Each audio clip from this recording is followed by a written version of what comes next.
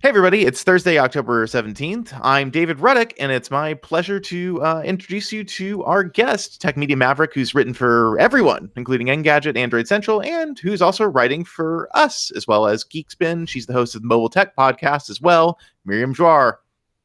Yay. Thanks for having me, David. Thank you for coming on. Um, you know, this is the we've really started doing, you know, a lot more guests and interviews on the podcast in the last couple of weeks. We're doing some new stuff with the show, and uh, you were definitely high on our list of guests to have on.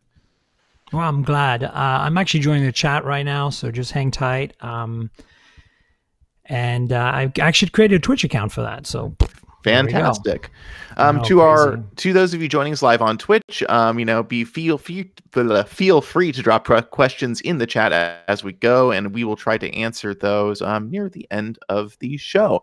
But this week, obviously, you know, we we've already had one show about the Google uh, event on Tuesday, which uh, both Myriam and I were at. But I think everybody probably who listens to this podcast isn't ready to be done talking about that event yet.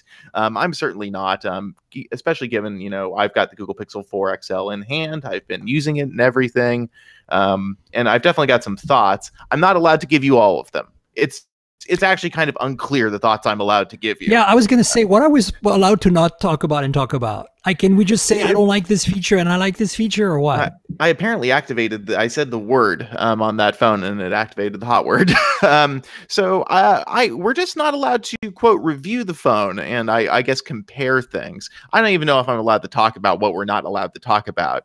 But I'm just telling you so if you guys have questions and you're like, oh well, why didn't they talk about this? Or for example, like battery life or like the new super zoom future feature or how well the face thing works, like you know, basically we're not allowed to be in depth about things right now, but we can give you kind of an overview of everything so far. And I, I think, you know, both of us probably got a pretty good sense of the phone from using inside the demo area alone. You know, that was yep. that was a fair amount of time. I mean, Google had that demo area open for like three hours, I think. It was a long time. So what were your first thoughts, Myriam? I know you always come across with uh, an opinion just about as fast as I do. Yeah, you and I are like like two knights on shiny horses, you know, with opinions pew pewing out of us with laser beams. Uh, I think it's. I have a lot of. Uh, I'm feeling very torn and and churny inside my belly because of this phone. It's like so many things are right, yet so many things are wrong. And once again, the world is a mixture of right and wrong. And why can't we just have everything right with our Pixel 4s? You know, that's kind of how I feel in general. Yeah, I think there are definitely some compromises that have been made with this phone, and we discussed that on the show uh, when we broadcast from New York very sleepily on um, the night of the press conference. But after using it a little more, I think I've you know personally had a chance to just kind of understand more of you know the things that I think are going to be divisive about this phone. And Google's products always are divisive. May as well be the first bullet point in anything Google announces. That's kind of their their mo at this point. point and I think number one is, you know, I think battery life is going to be a big concern with both these phones. Um, yeah. And I th- I think that also the face unlock is going to be divisive just because everybody, you know, wants seems to want to keep their fingerprint scanner. Not me, but Can a I lot just of chime in on that right now? Literally Yeah, this moment, absolutely. I just picked up the phone off my Pixel stand. It's charging right now from its first setup, and I went to point it at me, and as you can see, I have a mic in front of me with a pop filter, and I have headphones on, and right now it is not recognizing me whatsoever. The only way I can unlock this phone right now, if this was my main phone, is to slide up and enter my code, and that, I w- folks, is already pissing me off big time. Yeah, I mean, if you use the iPhone, you know, there's similar situations of frustration. I've been using the iPhone 11 Pro Max, and I guess I can talk about the experience of using the Pro Max Face ID in terms, let's call it a stand-in for the Pixel 4s, and in terms of like why this technology is something I personally like, but sometimes can be frustrating. Uh, the most frustrating use case, without beyond a shadow of a doubt, we all use our phones in our cars sometimes. Let's just be realistic. Maybe some of you are perfect out there, and good for you but I'm a person who I'm stuck at a red light in traffic. I'm going to be sitting there for two minutes. I'm pulling out my phone. Sorry to Plus, say it. Ruddock and I are professional car racers, so that's fine. We we can handle this. The the problem is a lot of times you get a lot of glare and reflections inside your car because of the windows. And you know when it's sunny out, like Face ID can have trouble. I will say the newest uh, generation of it is a lot better than the original iPhone X was. The iPhone X was very not good in the bright sun. Um, it's but then, 10, David, 10. I call it the X and I refuse to call know, it anything I'm else. Just, I'm just bugging you. but that's one situation where I think Face ID, you know, does uh, does have a downside. The upshot, though, is any situation where your hands are wet or dirty or you really don't want to touch your phone too much, Face ID is a much better biometric system. It works yeah, really yeah. well in those situations. Or if you're wearing gloves, for example, um, there are situations where it can work really well. And I think people, when they buy the Pixel 4 and they start using it, they'll realize, yes, face authentication comes with drawbacks, but it does have benefits. Look, I mean, I'm just saying that I've had an iPhone 10X, sorry, for two years now, and I use it from time to time, and I've never had this issue when I'm wearing my headphones of it not recognizing me. Like I'm, I'm actually clearing the mic right now, and it's still not recognizing me. Interesting. So that's did a you, major uh. Did you install the OTA update out of the box? Uh, it's just it it just rebooted from that OTA, so I think. Uh, oh, that's because I mean, you have already to unlocked. You have but... to re-unroll your face. Oh, you do. Look at that. Yeah, uh, there's so a that's notification. Why it's not working. Okay, well, then I will. I will shut up. Um, yeah, but that that's that's the thing for me. That's going to be the key thing. I I honestly think that Face ID is great. Like I and you know what Apple's shown us and has improved on, and I think that the Pixel 4 is further improving upon that. I think is is the future. There's no doubt. But I also feel like you know I've talked about this with Rene Ritchie at iMore. I really feel that the future of you know like near near future of mobile phones is um, you know half the display or half of the back or some large surface area that you easily often touch with either your index or thumb or one of your fingertips be a sensor in addition to having face recognition. And together they create a probability model of who that is touching the phone and looking at the phone. And based on that they unlock. You know what i'm saying? And, and, this would require machine learning. This would require a lot of the technology we have today. But i think until we have that um, and and possibly Apple will perfect it first because they are always kind of at the bleeding edge of this stuff. Um, I think we're going to be in this weird place where some people are going to be missing their rear fingerprint scanner, good old capacitive, you know, like we've had on all the Pixels so far, and then some people are going to be missing you know if they uh, if they go to another phone missing the face id and it's just the way it's going to be right yeah i think so manufacturers are going to make a choice about it and i think the lines are largely drawn there are rumors of course um, from what is it mingko mingcho um, Mingko, Mingko, um, that Apple will switch, or not switch, but will add a in-screen fingerprint scanner to iPhones in future generations. Ming-Chi Kuo, um, sorry about that. um, so but my my guess there, you know, Miriam, you've probably seen these prototypes as well, or at least read about them. You know, these prototype phones where half the screen or the whole screen is right that's what i'm scanner. talking about right like yeah. so i think honestly the front of the phone to me is the candidate for face id like three dimensional proper depth based you know like what the i think that's the other thing we should talk about i think the audience here knows this but just to reinforce it like you have face id on a lot of phones you can buy a moto g7 and get face id okay but it's camera based, it's two dimensional, that it's not secure. You cannot make Google Pay purchases with it. This is the first Android phone in the entire universe that lets you do Google Pay with Face ID. The Pixel. Yes, and so and also to be clear, it's not the first one that uses a dot projected Correct. IR mate. Mate 20 Pro did it, and the Oppo Find X did it. They were the only two so far that did it, as yeah. far as I'm aware. Um, I believe there's a Xiaomi phone. I believe the Mi 9 Pro. Did just um, came out? The, the Expl- no, the Explorer Edition Ooh, one. Okay. Um, I think that one had a dot projected IR face unlock as well, but none of these phones were able to leverage that into uh, the secure biometric model because it wasn't supported in the version of Android that they ran. Right. So Google now has defined that, and as maybe some of these phones will get upgraded to Android 10 and will be able to, you know, submit their authentication system and make it work um, but for now, the Google Pixel 4 is the only phone that can do this. Right. And so I think what I was trying to get to with this is that basically, you know, you have to be aware that this is a very secure type of Face ID versus what we have. So, right.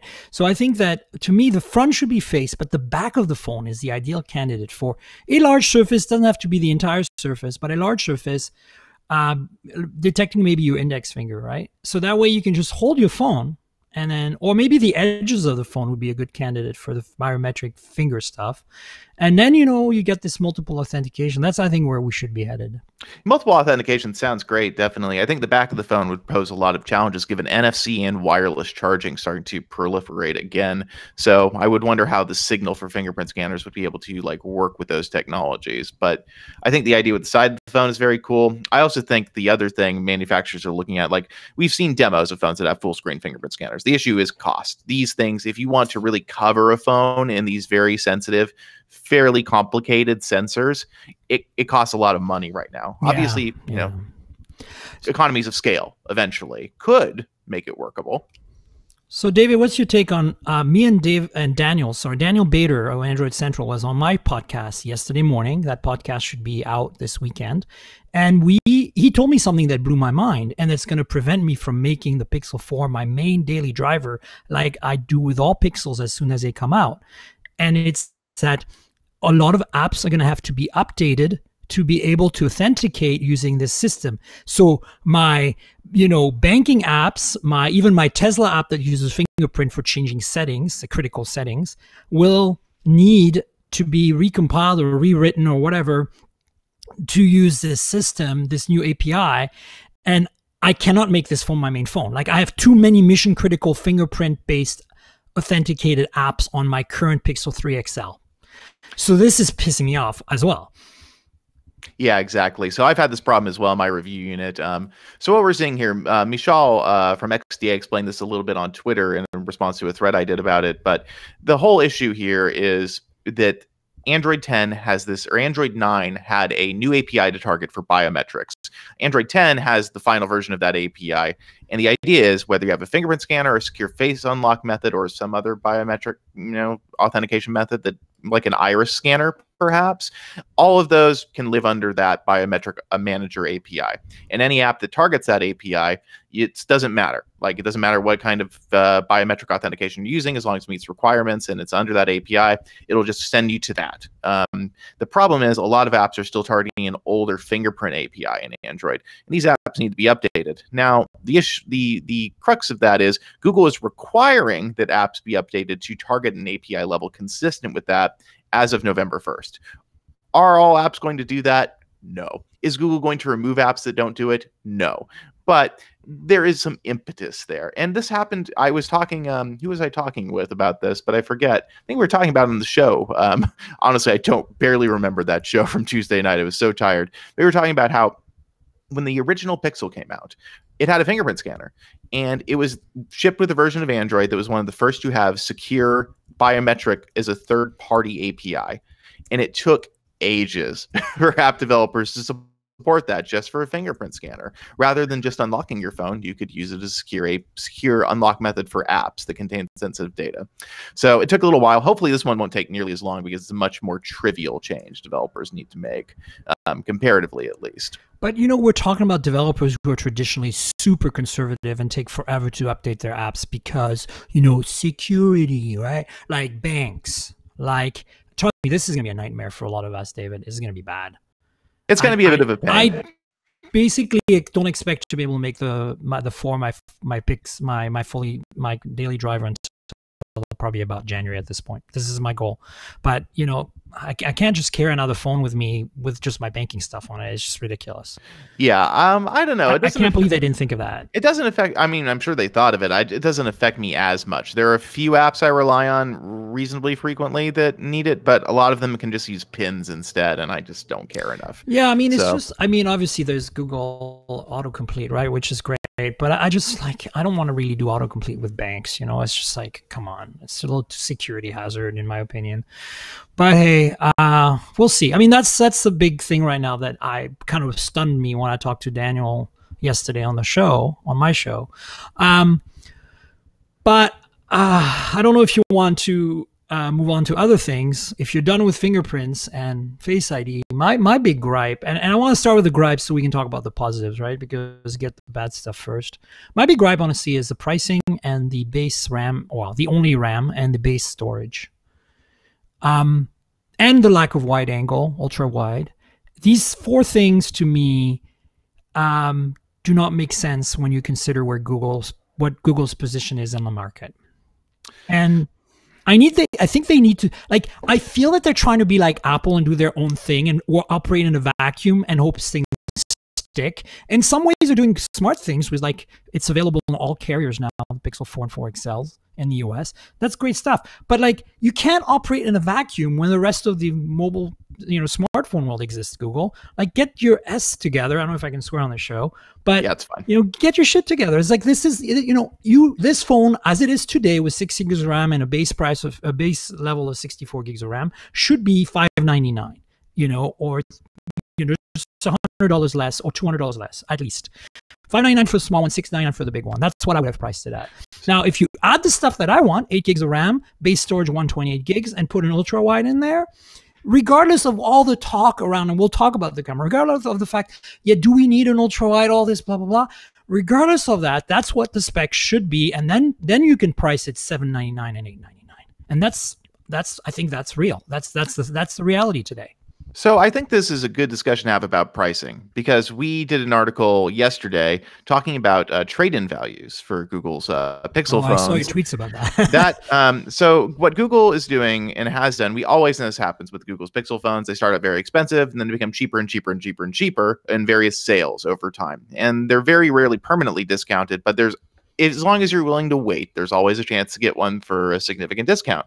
Well, Google really showed us yesterday, once again, what that's done to the resale value of their own smartphones, which is it has absolutely decimated them. So Google is willing to give you $260 on trade-in for a base model Pixel 3 XL in fully working condition. No screen cracks, no significant damage, charges everything, no water damage, etc.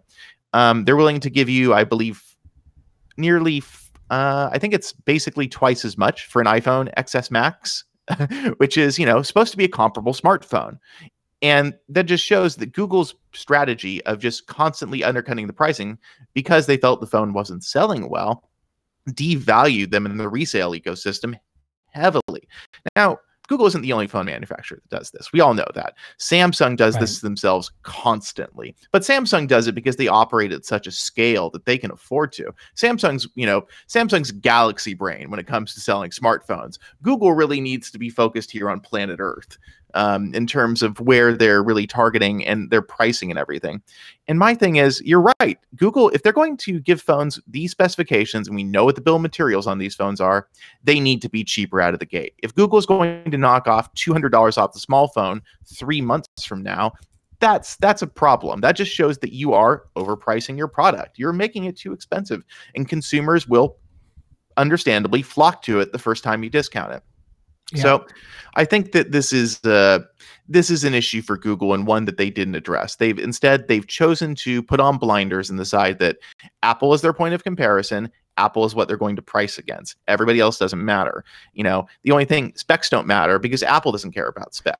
No, that's that's not true. Look, Apple does care about specs. Apple gave us, and this kind of stunned me when it did, when it happened. Apple gave us three cameras this year on the Pro, but when they gave us two cameras on the 11 base, I honestly totally thought they would just carry over the cameras from the X, uh, the 10s, XS, whatever you want to call it, uh, last year, and just call it a day because it would be totally, uh, totally an Apple thing to do, right? Go for the cheap thing. You already have the suppliers, you already have the part. Just, just incorporate it into a new chassis, put the new chip in there, and you know, last year's display, and you're done, right? That's not what they did. They went with the ultra wide as the second camera, which we all know is the only thing you should do if you have two cameras. It's nah, telephoto's better. I don't. Come on. yep, telephoto. I'm 100% telephoto. Cam. Are you serious? Yeah, 100. percent I, I honestly almost never use the wide That's angle. It. I love you can telephoto. Never talk again, David. Come on, you, you, who doesn't want to get closer to stuff with the camera? That to me is like no, the, like one of the camera's no, best purposes. No, no, you can always walk closer. Well, you can't always, but the point is, you can't. It's really hard for you. And and I I think that if you're gonna have two, I think you should have ultra it. But it's just me, and so I'm I'm really pissed off about the lack of ultra on this. Like this is really at that price, especially. I'm like, if it was cheaper, I'd be like, okay, fine. But it's not cheaper. It's an expensive phone. I'm just pointing this way because the phone's charging that way. Um, it, it's just like, oh, come on, Google. Why? Like last year, you made a phone with a single camera. You were one year behind. this year you made basically an iPhone 10s in terms of camera. Okay, like sure the software is a whole different thing, and we can talk about that, and that's one of the big pros, right? And I'm hoping that it's better than the iPhone 11 now, uh, because I'm you know I'm an Android user. I want Android to I want Google to win this one, this battle, but. Ugh, I'm frustrated so hard by this lack of wide angle at that price. I want. Well, you know, it's it's and it's a, it's a stack of things. It's the wide angle. It's I I'm not one to scream about RAM, but given what Google's competitors are doing, it's like, guys, you know, if you're not, Google pretends there are no benchmarks. That's the thing. Google pretends that there is nobody else they have to compare to but Apple. That's to me one of their biggest failings in their Pixel division because they've said from the beginning they're not targeting other Android phone users, they're targeting iPhone users. And peeling away from that crowd is it's a tall order. You're working against such bigger things than specifications or, you know, just brand loyalty. Brand loyalty is a huge part of it. You're also working against ecosystem lock-in that's incredibly hard to break. And I think that Google's just focused on that market is is ill advised. It is. And, I mean, I mean, especially when the iPhone 11 Pro, which costs you know what a little hundred dollars less than the XL. So maybe should we compare the XL to the 11, or should we compare the or the the four in general, the four line up to the 11 or the 11 Pro? Because the 11 Pro is a whole dimension of price more. But if you look at it versus the Pro, and if they're comparing themselves with that, they're missing a camera. Hello, like they're just yeah. missing a camera. They're missing a camera. And How iPhone you, users are going to come to your phone if you're missing a camera? If Apple gives them a phone with three cameras and you're giving them a phone with two cameras, f you. Okay, like go home. Okay, you're done. Yeah, and it's also just, you know, kind of the whole thing with Apple has an actual ecosystem to offer their mm. customers. Mm-hmm. They Android and Google really don't. They, Google would like to say they do, but in reality, system, which you got to say is pretty freaking brilliant. It is. I mean, I've been using the Apple Watch for a few weeks now and completely understand the lock and desired. Apple Watch is a fantastic product, really, really good, and it just is one of the another one of those things. Well, you buy a Pixel. What smartwatch do you use? Well, oh, Galaxy pretty... Active too, of course yeah, that's the least terrible of them all, yeah. basically. And that's that really is the truth, though. Least terrible is the best way to describe Samsung's wearables. So yeah. I think Google is is fighting such an uphill battle, and they're doing so while pretending that they can charge nearly what Apple does for their phones. And I think that's living in a fantasy world. And I think that's it's important to separate out that discussion from the phone as a product. How good is the phone versus what is Google's whole approach here? Like, yes. how do they want this to work as a business? And right. I don't see anything they changed this year that makes the Pixel work more as a business. And it's exactly where I was going with the pricing. And and of course, also want to remind everyone we do not live in a vacuum, right? I want to remind everyone you can buy a Xiaomi Mi 9T or what yeah Mi 9T Pro whatever it is the Snapdragon 855 based $350 $400 phone that yes it's not going to have Android 10 for a while it's not going to have the Google experience of the Pixel in terms of this you know the UI but put a launcher on there put a keyboard on there and honestly for $400 you have a phone that you know, has kick-ass specs, has eight gigs of RAM. Hello, at four hundred dollars. I mean, like, come on like where are like you can't like we are living in a world right now where there is such a breadth of android phones you can't ignore that breadth even if there are shortcomings in that breadth. You know what i'm saying? Absolutely. There are just so many phones out there now and china has really shown really pushed through commoditization of smartphones in a way where for years it was always well Chinese phones yes they're cheap. Yes they have the specs but on paper kind of crappy exactly know? and it's just but not true anymore no longer kind of crappy. I mean and even you know forget Xiaomi for a second because that's an imported phone. Let's look at the OnePlus 7T okay? A phone you yeah. can buy from T-Mobile a phone that costs 599 a phone that at 599 has three cameras in the back has a 90 hertz display that's always on has a bigger battery you know, I mean, the list goes on and on and on. And if you put the Gcam on that phone, you're getting much better photos than one OnePlus provides. Yeah, it charges it charges faster. Um, it gets software updates basically as fast as doesn't Google's phones. Wireless charging though. Doesn't, doesn't have wireless charging. That is a bit of a bummer. Um, but I, I, think you're dead on with that. The 7T is an outstanding value. I mean, people have been laughing at OnePlus the last few years in terms like, oh, well, OnePlus started at you know three hundred dollars and now they're selling for twice that. It's like, well, no, phones have gotten more expensive, and OnePlus is still a crazy value compared to the high end phones out there. And really they really just keep getting closer and closer to those much more expensive phones with each passing year.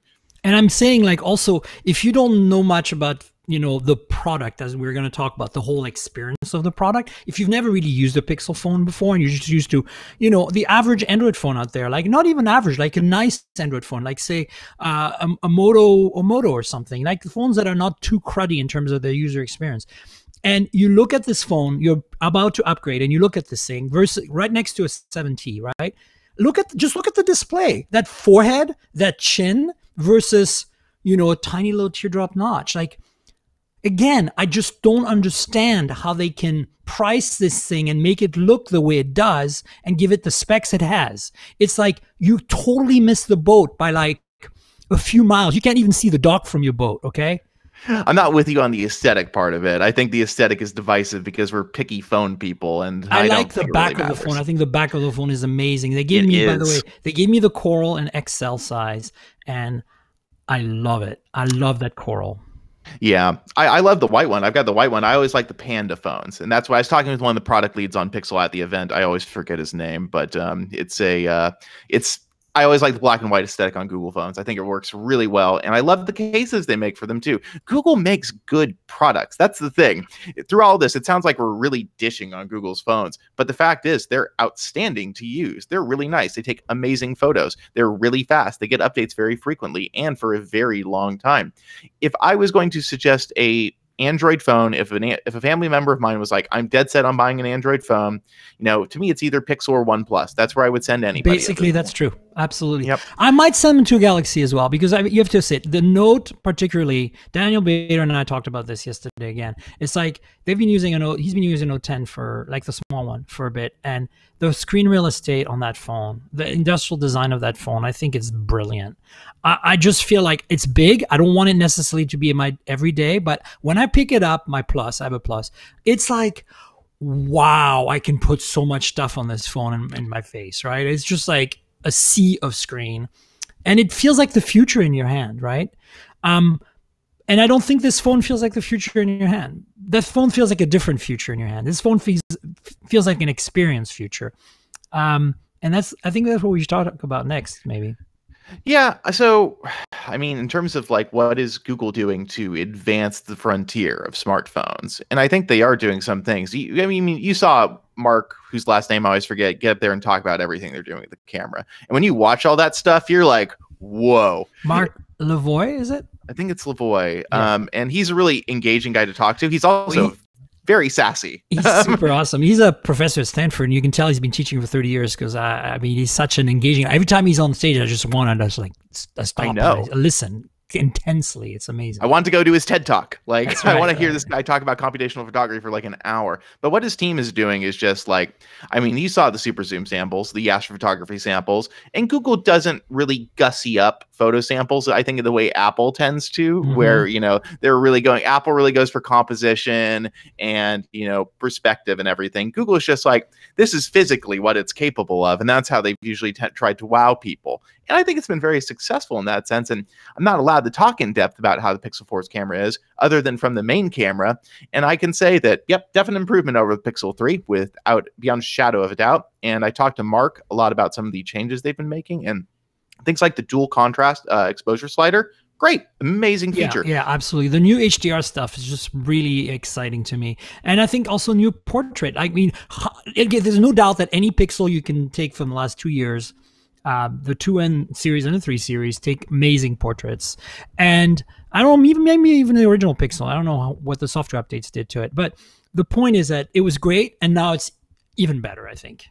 Yeah, and I think with the addition of the telephoto lens, I'm I'm probably going to be at the point where I say, nah, I think Google's taken the photography crown back away from Huawei again because they have a level Apple. of I, I um, uh, no, I don't think so. Using the 11 Pro Max, I have not been very impressed, honestly, with the really? cameras. A lot of people are, and I've tried it, and I feel like it's very, very solid. I think Night Sight was de- dethroned by Apple for a little while, but I have a feeling, and I don't know, I haven't tested yet. So, and also we're not allowed to talk about it anyway. But I have a feeling, and my bet is, my gut tells me that this new Night Sight of theirs, that astrophotography Night Sight, is going to kick the iPhone back to in its place. So I think the thing that I've been talking to more and more people about is regarding the iPhone is that the still image quality on the 11 Pro is basically just where they were at with the iPhone 10. It's in 2 years progressed very little. So the thing where I have seen improvement is in Apple's Deep Fusion, which isn't available yet for the public. It's But only the low beta. light is way better than the iPhone 10. I have an iPhone 10 and a low light. Oh yeah, definitely. The low light is like night and day difference. It's completely different. Um, but I think in terms of just general still imaging performance, I want to see what happens with Deep Fusion. I don't know if I'm going to have the iPhone long enough to try out Deep Fusion, but the results I've seen from that, like in terms of zoom performance, are pretty incredible. Like I've seen a lot of samples. I think they look really great. I think with the Pixel though, Google's thing with the dual exposure, like the continued like live HDR view in the viewfinder, that's amazing. Love it. Um, granted, Finally. they're not the first to do it. It took them forever. I mean, But- Samsung did it what three years ago or something. It's been a while, yeah. Yeah. Samsung's had it a long time, and then I think you've got other things like, um, you know, like I said, the the new super zoom mode I think is going to impress people a lot. I think it's going to work really well. I think that in terms of camera performance, so far I felt that it's very fast, um, and I think just in terms of Google is very thoughtful about the camera in a way that. I think a lot of companies really aren't very. So I was having a conversation with Marc and Dieter and Nilay from The Verge, and we were talking about a little bit about how Samsung and Huawei, when they talk about how they process their photos, they're doing it to a market. They want to process photos in a way that people in Asia basically want photos to look. Right. And and our response, you know, here in the West is usually they look over processed, like people's faces look blurry, um, to the point like it's like the makeup mode is applied to everything in the universe, and you know, colors are totally unrealistic. Everything's super punched out. Everybody knows that Samsung look to photos, um, whereas Google has taken a much more measured approach to processing. Now, that's not to say Google's photos always look realistic out of the pixels, but I think this year the main camera images, I posted a sample gallery on our on our site. Um, Marc was telling me this year they went for a softer, less punchy approach to the HDR plus. They wanted something that was a little less aggressive. That's simplifying. They actually base their look on. They have an ins- they have an artist they choose every year, I guess, to, to inspire their HDR plus look.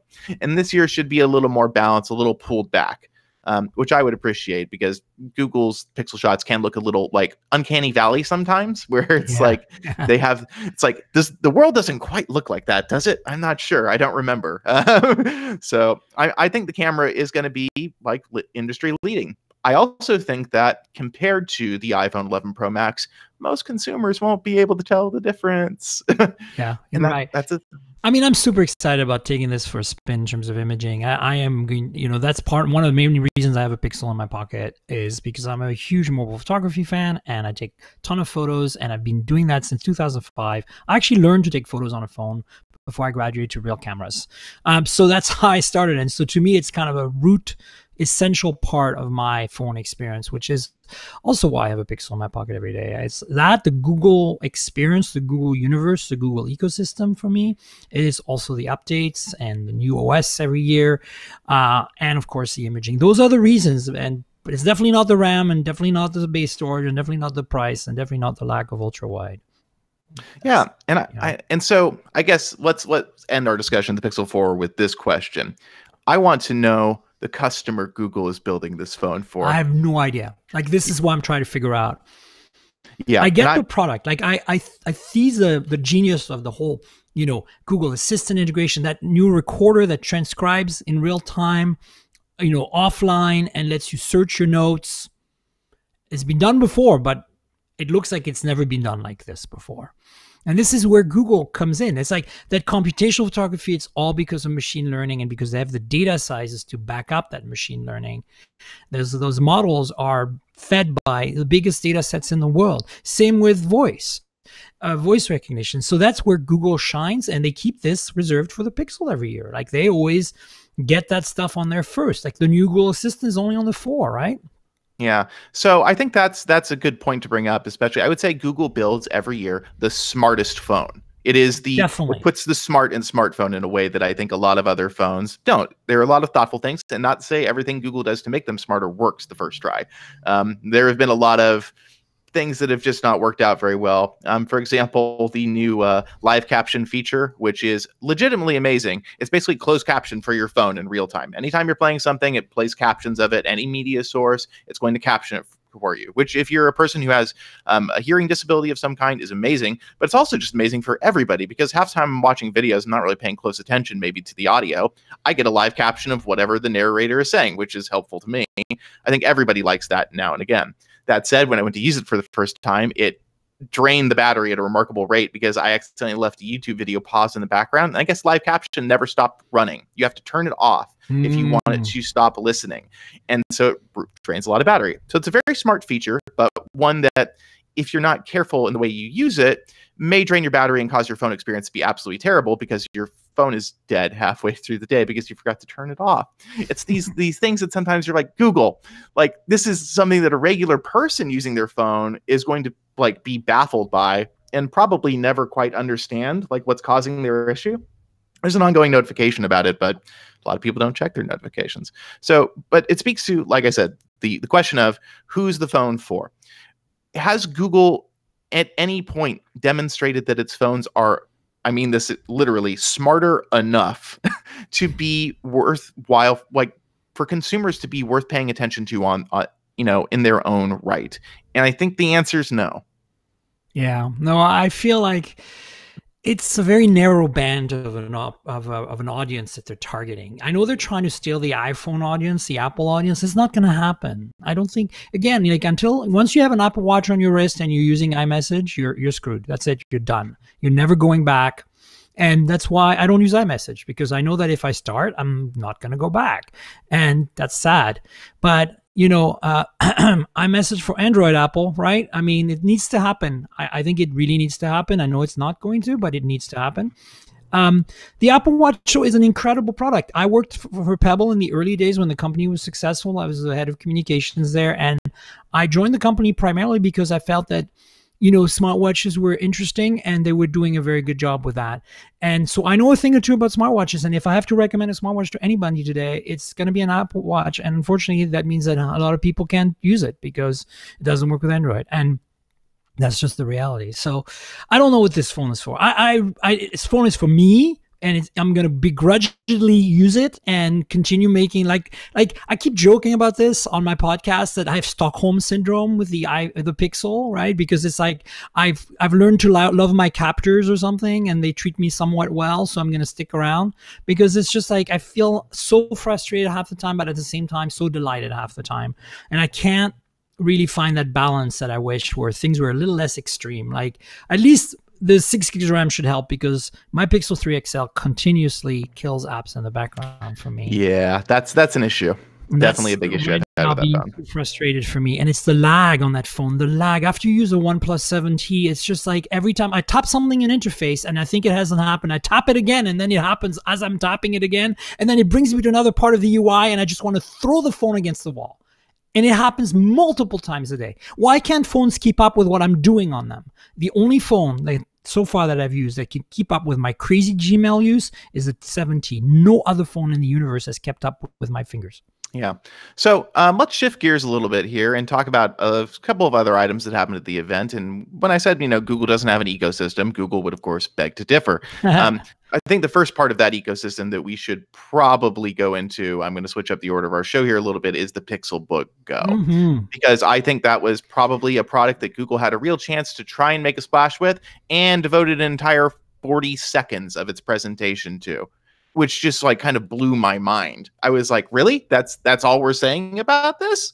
Like it just feels like they're I think like my question when that happened on stage was are there like sunsetting Chromebooks? Like this is what it feels like. This is like, oh, we're just gonna make a cheaper Pixelbook and you know, let's move on now. And I'm just like, wait, wait a minute. Pixelbook user here, you're a Pixelbook user too, David. Yes. It's like, uh, no, no, no, no, no, no, no, no, no. You do not understand. I love my Pixelbook. I've been using it for two years. The battery is phenomenal. Uh, everything about it is amazing except the bezels and the display could be brighter. That's it. Give me a new Intel chip, a better display with brighter, with a brighter, less bezel display, and that's what I wanted. And you still haven't made this. We told you to do this last year, Google, when you made that stupid slate, and instead you bring out a overpriced, in my opinion, for what it is Chromebook with a 69 display that's not bright enough. Like it was so dim. I know we were in a very bright environment, but it was so dim I was disappointed. Look, it looks great. It feels nice. The keyboard is amazing. The trackpad is fantastic. But 649 for that thing?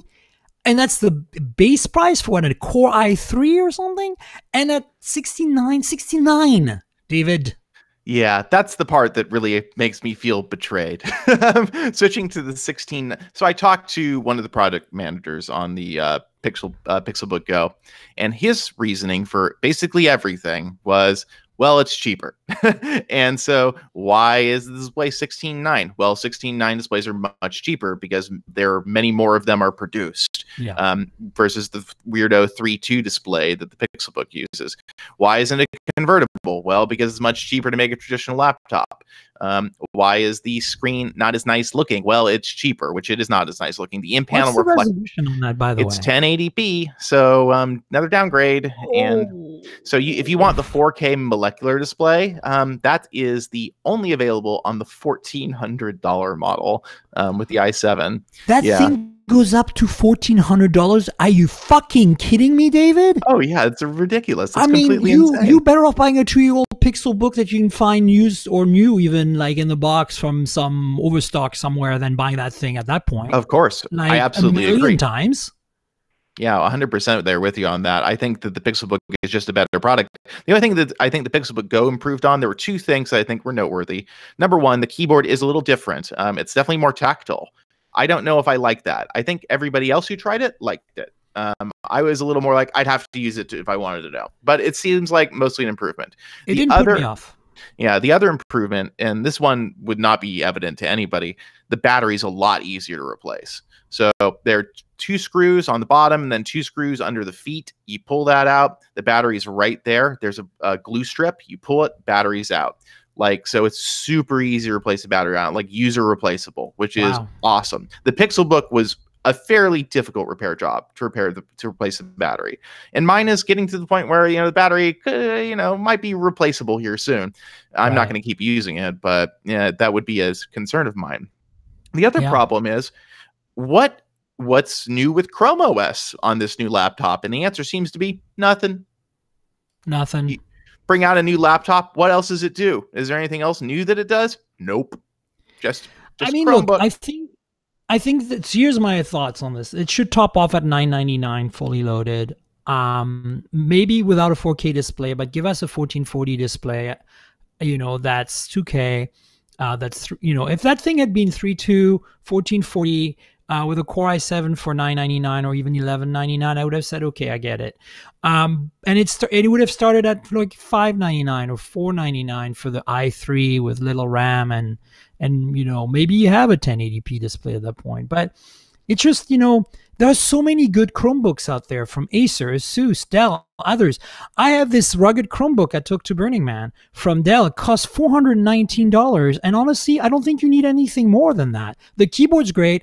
The trackpad's great. The display's just as crappy as the chromebook go uh, the pixelbook go. And it's great battery life insanely long and uh, on top of that, it's a rugged. It's a two-in-one, and it's ruggedized. Like you can literally throw this thing around all day long. Nothing bad is going to happen to it. So four nineteen. Yeah. There and that's the whole thing. The Chromebook market is all about price. It is 100% about the money. You know, nobody's buying, you know, super expensive Chromebooks. I don't get me wrong. I love the Pixelbook. I think that Google overpriced it at the start. I think the sales have made it much more palatable. I don't think many people are buying them, but No. I think that that's kind of the problem here. What's the market for an expensive Chromebook? Well, there isn't one. It Doesn't exist. Those people, we are basically non like there's, non. a, there's an audience of five. Like I mean, the thing is, the, the thing is, it's a Halo product, and that's the thing. Like even the Pixel laptop before it, the two gen- generations that I used are like you show them to people, and people are like, wow, holy crap, this is a beautiful laptop. yes. right? And and that's exactly the point. It's like not everybody buys a lamborghini right? But a lot of people like volkswagen golfs right? Same company right? Volkswagen group okay? So the point is or better comparison probably an audi r8 but the point is and then they go buy an audi a3 but the thing is like this is the reality that i think halo devices are real and should exist but they should never be profit margin device like i mean they should Yeah. be profit margin device. They should never be devices that you count on to make money. So I like that that Google went out and made these crazy expensive pixels that were no compromise. But this thing feels like still too expensive and compromised. And what the F? Like, why? Like, when the entire ecosystem is making such better products, you fail again, Google. Yeah, and I think uh, a person I've ta- heard talk about this extensively is Kevin Tofel over at About Chromebooks, Oh, yeah. and his his whole thing has been he was really hoping that Google was going to make a developer focused Chromebook, a Chromebook that was powerful enough for Oh, developers to do development on, because it does it has Linux now, and eventually, hopefully, Google will release a version of the Android development environment for Chromebooks compiled for Chrome OS. It hasn't happened. Um, I think it's still on. Is it in beta? I think. But anyway, you know, the idea there, though, being that developers need more than an ultra low power CPU. They need a mid tier mobile CPU, which is the Right. Intel U series usually, um, which is what Microsoft's new Surface laptop has. And so the idea, The Surface laptop. Yes, of course. That's the one you want. I bought it. Um, I bought the Surface laptop. It's coming next week. Um, so I'm very excited for it. But uh, I think that Kevin pointed out a really good, like, point out something really important. Like, if you're going to build this laptop, a first start with a laptop that works for your own employees. Google has tons of employees. A ton of them are developers. There's basically no good Chromebook out there for development right now.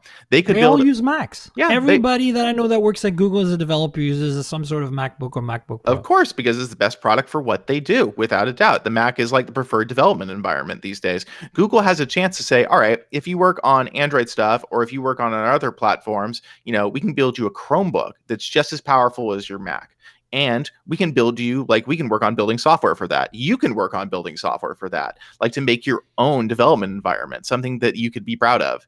And Google seems totally uninterested in that. And I don't understand why. That would be a Pixel book I might be interested in too. Um, too, especially because I think that could get the ball rolling on making Chrome OS more powerful and more versatile, which is something it really hasn't become in the last It few years. could Chrome be- OS It could make Chromebook the Linux that we've always wanted on a laptop.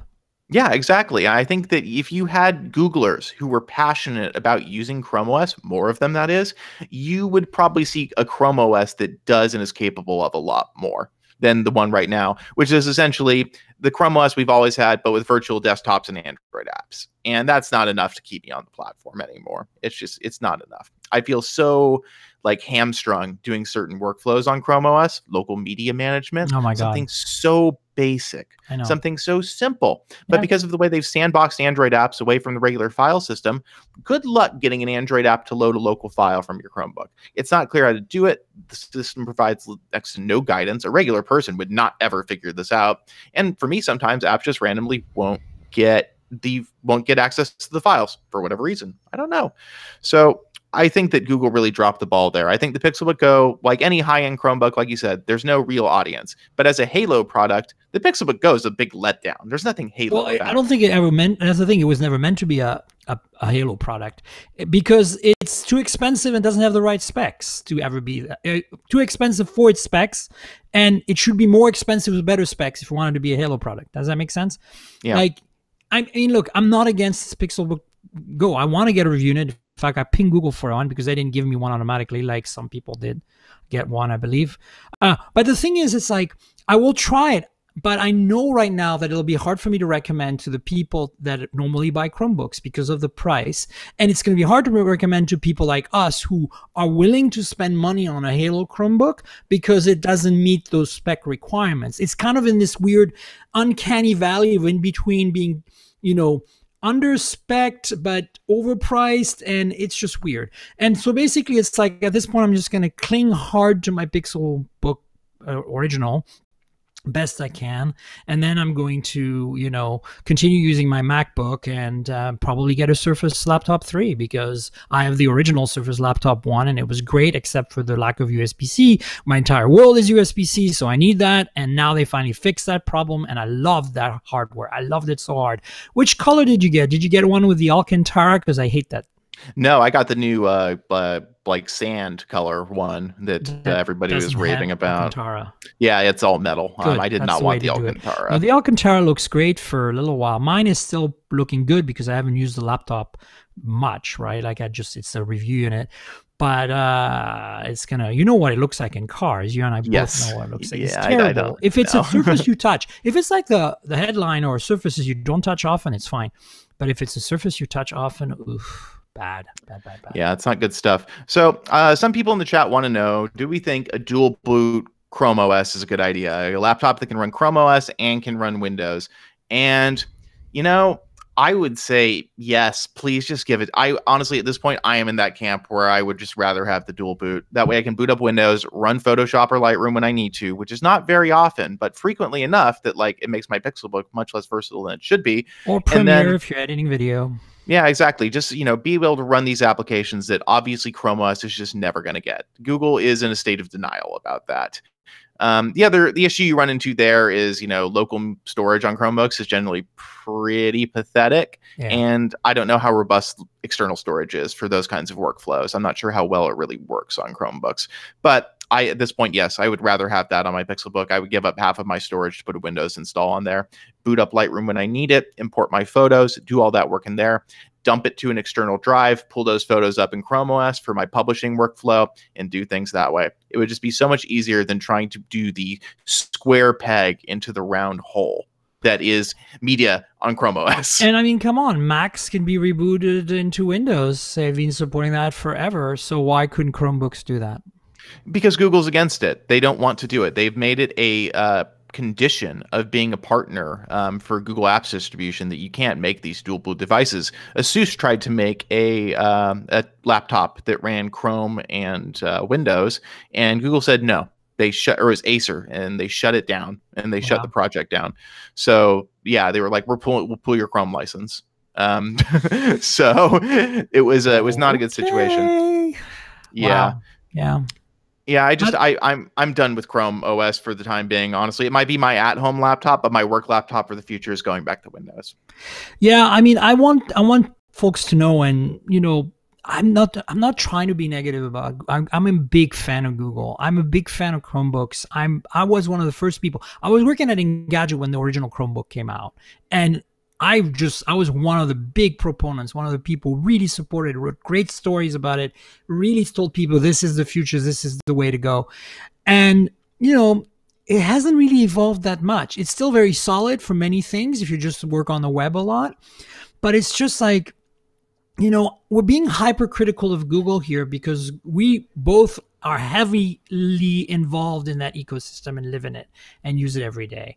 Like you look at my iPhone, it's all Google Apps. I don't use basically the only thing I use that's that's from Apple is my phone backup feature. That's it. And I don't even back up my photos to Apple servers. I back up my photos to Google Photos on the iPhone. So basically, and I think there's a lot I know a lot of Googlers who use iPhones exactly the same way. It's all Google apps and they use the backup feature from Apple in case their phone gets stolen. That's it. So, you know, this is this is why we're critical. This is why we're pissy about this stuff. It's like it seems like Google is living in a vacuum and doesn't seem to be aware of what's happening around them and keeps making these weird boneheaded decisions. It's like, can you finally just do the right thing, Google? It's not hard. Just hire people like us to tell you what to do. Yeah. So this actually goes into a question from uh, a couple of our readers. Um, so Badger asks, um, as tech reporters, do you express your dissatisfaction to Google? And I can speak for myself in saying absolutely. Well, yeah. Like, I mean, I, I mean, we're pretty open right now on the podcast. They're gonna listen to it, hopefully, and then you know we're pretty open about it in, in Twitter and on public. And I've talked to them in person about my concerns, uh, especially when I had more clout, when I was a journalist that had more, uh, you know, basically more readership than I do now. And and you know, it's like I don't think it ever goes anywhere. I don't. It's like the same with uh, so many companies. They just don't listen. Yeah, I don't think they do always listen. And you know what? So the thing is about feedback, you have to you pick your battles as a journalist. You cannot go in guns blazing to every press conference and every situation and briefing and be like, here are the 80 things I think that are wrong about your strategy right now. And that's how you just get yourself kicked off the list. Honestly, we as journalists do have to look at that and say, well, you know, um, what is a good for my publication and b what is also like the appropriate level of feedback to provide in these situations where you know you're letting them know giving them a warning like hey i'm going to be talking about this. This is something we're going to be discussing on you know our outlet. So we do talk about those things. There are other situations like i got on my plane yesterday I was like on a standby flight. I walked up in the first row of the plane. Guess who's sitting there? It's Rick Osterloh. and I was like, Oh wow. I was like, Hey, Mr. Osterloh, great presentation today. Thanks for having us out. And that's when the situation is like, yes, I could tell Rick Osterloh everything that's wrong with the pixel yeah. business. I'm not going to do that. You don't want to be a dick to people. That's not only that, but it's not the right setting, right? They're not, tired. They're trying to fly home. They they're done with their business. You know, you don't want to like jump on them at that time. Yeah, of course. And so, yes, we do express our concerns and a lot of questions. I am very skeptical of Google. Like uh, they, I, I go into Google briefings and honestly get a lot of looks of like, oh, why are you asking about that? That's, uh, well, that's just the way we chose to do it. That's the answer to a lot of questions I get.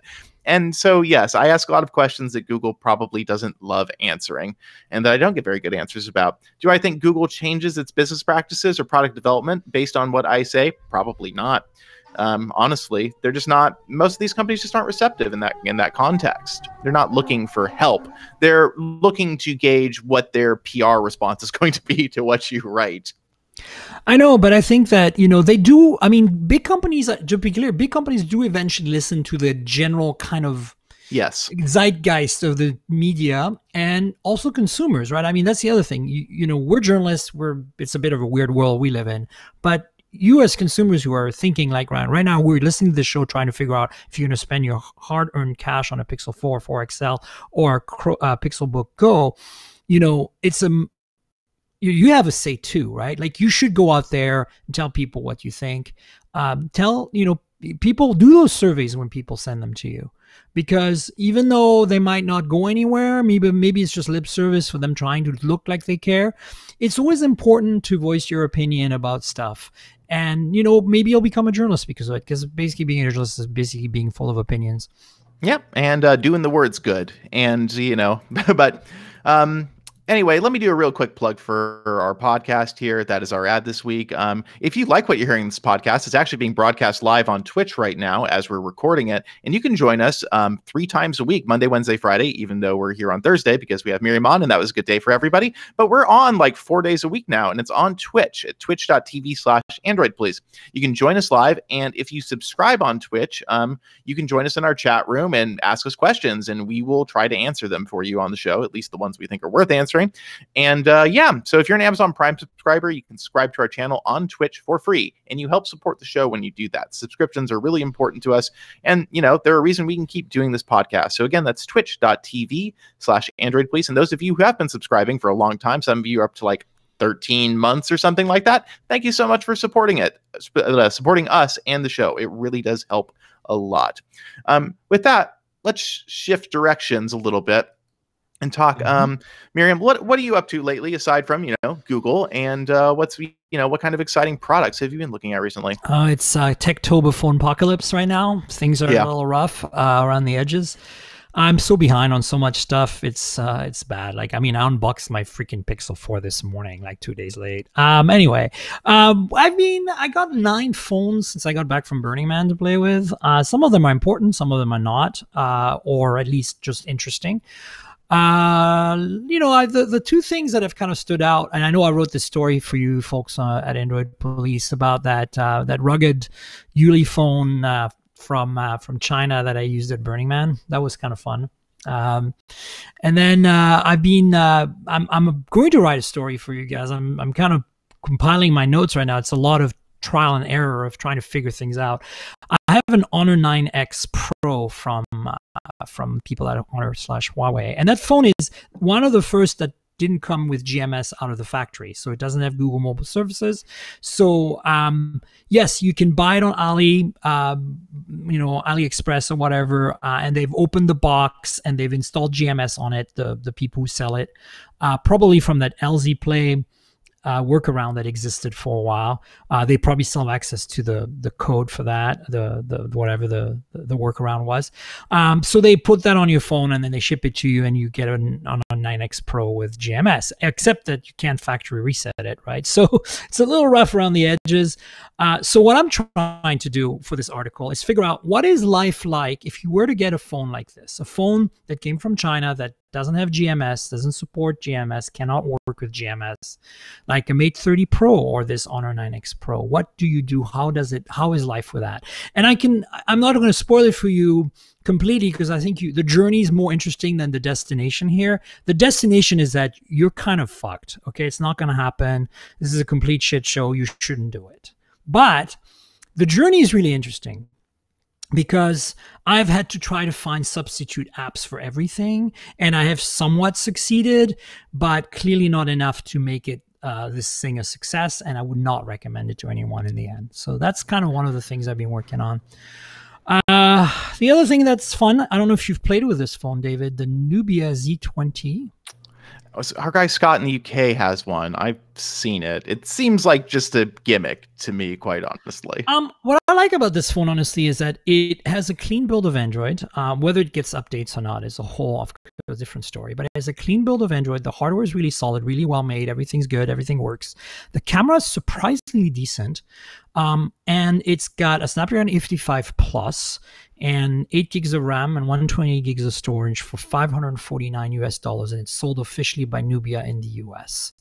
549 for those specs. And as a bonus, you get this really crazy thing where there's no front facing camera, but you can use the rear camera uh, to take selfies because there's an additional 5.1 inch 720p OLED display in the back, in addition to the 6.4 inch 1080p OLED display in the front. And there's some cool things like um, there's two fingerprint sensors, one on each side. So if you uh, unlock with the phone facing up, regarding which sensor you use, it automatically turns on the front screen. And if you flip the phone, you lock it again, you flip the phone, you unlock it, it's the rear screen. It, so it knows kind of like you can manually force the screens. When you take a photo of someone, you can tell it to show their face on the viewfinder in the back so that they can see the shot you're composing and say, oh, no, no, uh, wait, my hair doesn't look quite right. So, you know, it's interesting and and I wouldn't care if it was a thousand dollar phone, but at five hundred forty nine, even those specs alone are kind of interesting to me. Yeah, I mean, I, I, find them interesting as kind of like a sector to observe. I'm just not honestly, I'm just not interested in using them anymore. It's been it's been years since I've really given a lot of the cheaper phones a shot, and there's so much exciting stuff happening at the high end now that I'm just kind of like, well, I'd, I'd rather be living with. But it is high end, 855 plus. Like, I mean, this is yeah. a flagship grade phone it's it's compromised in a number of ways. Num- number one being that Nubia made it, and I don't really want to use anything they've made. Like I just right. don't want to don't want to deal with the. I would never want to live with a phone that that company, which has produced some remarkably buggy software over the years, like yeah. impressively so. Um, don't really want anything to do with that. Um, but I hear uh, you. But I mean, it exists, and it's up there with, uh, you know, in some ways, it's up there with the one OnePlus 7T. It's up there with as low as the uh, $400 uh, K20 Pro from Redmi, aka the Mi 9T Pro. I mean, it is a phone that exists in that realm of affordable flagships, along with the ZTE Axon 10 Pro, which is another phone that I reviewed for Geekspin. Um, along with the Asus Zenfone 6, along with a bunch of other, you know, Snapdragon 855 or 855 Plus equipped phones. The other one that I've been playing with that I really like is a Snapdragon 730G based phone, which is the Oppo Reno 2. And the cameras on this thing kind of are really impressing me for the money. Yeah. So I, I like what, uh, you know, Oppo is a company that to me is very skilled from an engineering standpoint and building to a price point obviously. Um, i think that they they have a lot of interesting ideas and they're willing to take risks. Um, and also their interest in photography is interesting to me. I like i they genuinely seem to want to make phones that take better photos than a lot yeah. of the Chinese competition, which generally has been pretty not great um, at that side of making phones. I mean, this is a phone that doesn't sell in the US officially, unlike the others I mentioned, and it's uh, probably about six hundred dollars for a Snapdragon 730 if you were to import it for a 730G, which is a little expensive when you can get an 855 for that money. Is if spec matters to you, of course, but the industrial design, the design, the look, the feel, the materials are super top notch, super high end, and the uh, cameras pretty damn great. The thing that lets this phone down that I really just can't recommend it. Obviously, it's an import, so you have to deal with like warranties and whatever. But also, it the software. I mean, it's yeah you know, it's it's uh, it's much better than some of the older Oppo phones I've used. But honestly, you you know you have to put another launcher and another keyboard for sure on this phone. And even then, will you get updates? Meh, who knows? And uh, you know, it's still extremely contaminated. Like the the you know the the, the, the what's it called? The system settings, the settings uh, interface is completely weird, and and the the the, the pull down tray and everything, the notifications and shortcuts, yes. all that is broken as hell. Yep. So that's the problem with these Chinese phones. The reason I cover these, uh, David, is uh, first of all, uh, I find them interesting. But secondly, uh, my audience is pretty much split between, like, if you look at the large majority of my listeners, they come from US, UK, and then India. And as you know, a lot of the Chinese phones end up in India, so they kind of like me to try to get my hands on as many as they can. Um, and then what else is going on? I don't know. I'm I'm looking forward to what else they throw at us next. It seems like this year they've kind of shifted this Techtober phone apocalypse to start more in September and end in October, than to start in October and end in November like last yeah. year. So I think we're we just have to soldier on. I think um, so. I think we're yeah. we're finally done with all of the crazy phone announcements for the year. I mean, I think it's possible we'll see that that Motorola phone come out before the end of the year. You know, I which one specifically? The the oh, Razr, the folding one. Oh yeah, yeah. So we'll see if that know. happens. I'm I'm also we'll see. I have a feeling that with everyone that's making a folding phone right now, is put I kind of put it on ice because of what happened with Samsung, and I have to give Samsung kudos for following through despite you know uh, the fact that this product is going to be a very delicate machine to buy for two thousand dollars. Uh, yeah, you know, but it needs to happen. This folding thing needs to happen somehow. We need to figure it out as a technology because there's some validity to it. Once you've used a fold for a bit, it's like, wow, this is interesting. This is this is uh, I could see myself doing this. But then you're like, so many compromises and broke. It's kind of like that you know, as you said, that Nubia, right? It's like on paper it's a great phone. I've used it, it's a great phone, but like updates and bugginess and la la la, and then you kind of go like, yeah, you throw your hands up in the air and you go, yeah, forget it. I'm going to buy OnePlus 7T and call it a day, right? Yeah. So, so I guess uh, here's let's let's end with this question. Um, we are running a little long here, but I do want to ask this one because I had it planned beforehand. What do you think is going to be the big thing next year in phones aside from folding? Let's let let's let folding be its own thing. Uh, oof, that's a tough one. In dis under in and under display uh, front facing camera sensors. Okay, so I'm I'm, I'm, I'm it's not it's one of many things. There's a few. That's one thing we're going to see. We're also going to see even less bezels. Um, so China is going to bring us. I just want to be clear, like China versus the West, because I mean I hate to put Google and Apple in, and maybe Samsung because although they're Korean, put them in the West because they have the big majority of the Western market. I mean Google doesn't, but Google by its ecosystem and its presence as a uh, you know uh, a platform has a lot of, of cloud. I think we're going to see a lot of innovation from China as usual. I think China is driving innovation. Uh, here's what I'm guessing is going to happen. Um, we're going to see a resolution of the whole Huawei Honor thing. Um, Hopefully, I think so. I think so. And then we're going to see uh, under display, in display, whatever front facing cameras. At first, they're going to be kind of crappy. Second gen is going to be pretty decent. It's going to be the same as the in display fingerprint sensors were. We're going to see less bezels all around from the from the Chinese. Uh, wraparound displays that either wrap around the top like Samsung has shown in their patents, or wrap around the sides, like the Xiaomi Mi Max. Uh, we're that's real. It's gonna happen. Oppo, Vivo, and Xiaomi are gonna be the front of all this stuff, uh, and Huawei, of course.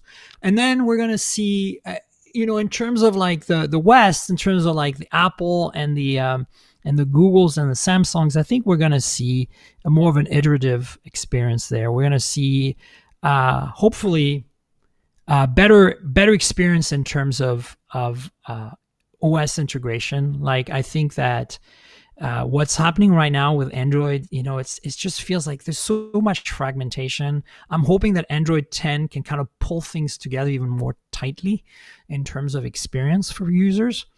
Um, but I'm not 100% convinced that's going to happen. Uh, other things, I mean, I don't think it's going to be a huge revelation. We're going to see better cameras, of course. Um, but I think the days of pop ups and sh- shark fins and things like that are going to be numbered. I think I think you're right about that. I don't know if it's next year that we'll see many of that. We'll definitely see a few. We've already seen a rumor from Ice Universe that um, there's going to be a Samsung phone next year with an under display front facing camera. It won't be an S or Note series phone. They though. always do or, that. Excuse they me, did, won't be an S or Fold. They yeah, they, they, they, they demo for the for yeah. the first uh, for the first multi camera phone before they even did more than two. Yeah. Samsung experiments in its A series. It's you know a lot of the Southeast Asia popular phones um, that are they're fairly expensive actually. But I, you know, I think next year we'll probably see um, we'll probably see some more innovation. You know, definitely on cameras. I think that I think the big thing we're coming up against on smartphone cameras is sensor size, and I think that we've seen some breakthroughs from Samsung and Sony with bigger sensors, and this this that came out this year. Yeah, yeah. Not many manufacturers are utilizing them yet.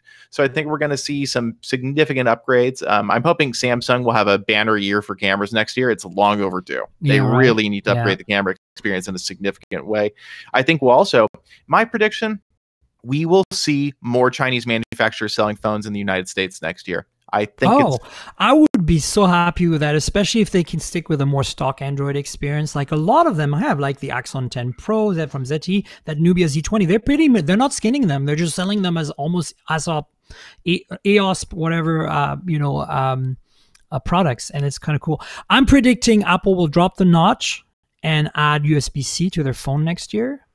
Or, or the notch will be so thin it'll just basically be a sliver at the top yeah. um, and then definitely USB C. And I'm predicting uh, that we're going to see a lot more 5G phones for better or for worse. we'll see about that. I think we'll see a ton of 5G phones outside the United States. That's I- what I'm saying. Yeah. Like I'm saying, like we'll see 5G phones uh, at a price point that's lower and mostly non-millimeter, like sub six in markets like Europe, uh, where it's basically LTE on steroids, right?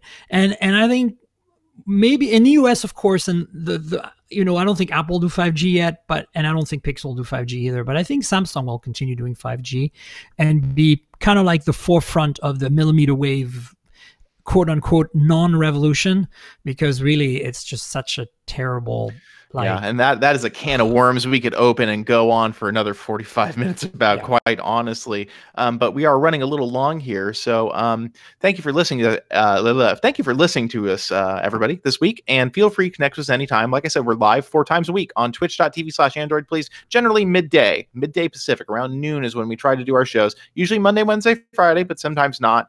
We'll try to keep you updated with that on our social channels. You can follow us on Twitter at Android Police, um, and we'll definitely keep you updated there on our plans.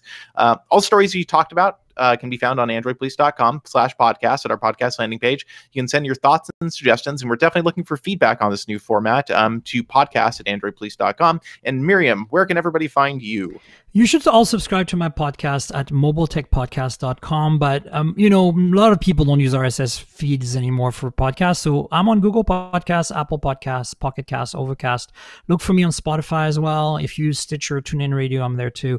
Basically, all the platforms. Please subscribe. I can use your support. Um, it's a weekly show. It gets published late in the week, weekend ish. Uh, and, uh, you know, I always have guests like David and others on the show, usually journalists, sometimes industry people. And it's all about mobile tech and includes and includes cars because I feel like cars are mobile tech you can step into these days. I have so It's much true. tech. Um, and so a lot of EV stuff because I'm a big EV advocate, uh, but also a car enthusiast like David. So there you go. Check it out. We like tangents too. Sometimes we talk about crazy stuff like Iceland. awesome. So on Twitter, I'm RDRV3. Our producer, Jules Wang, is at Point Jules, and our theme music is by Home. We're off tomorrow. Uh, that's Friday, but join us on Monday at noon Pacific. We'll have Ryan Whitwam on with our old friend Cameron Summerson from ReviewsGeek.com, and uh, we're very much looking forward to that. I'll be out the next couple of weeks, unfortunately, but uh, Ryan and the rest of the team will be great custodians of the show. And um, thank you for listening again, everybody, this week. This episode will be live um, on podcast networks everywhere probably uh, tomorrow afternoon um, that would be friday so uh, look forward to seeing it then thanks again for being on Myriam Yeah, thanks so much. And just quickly, my handle on Twitter is TNKGRL, Tank Girl without should the vowels. definitely follow Myriam Thank you so much.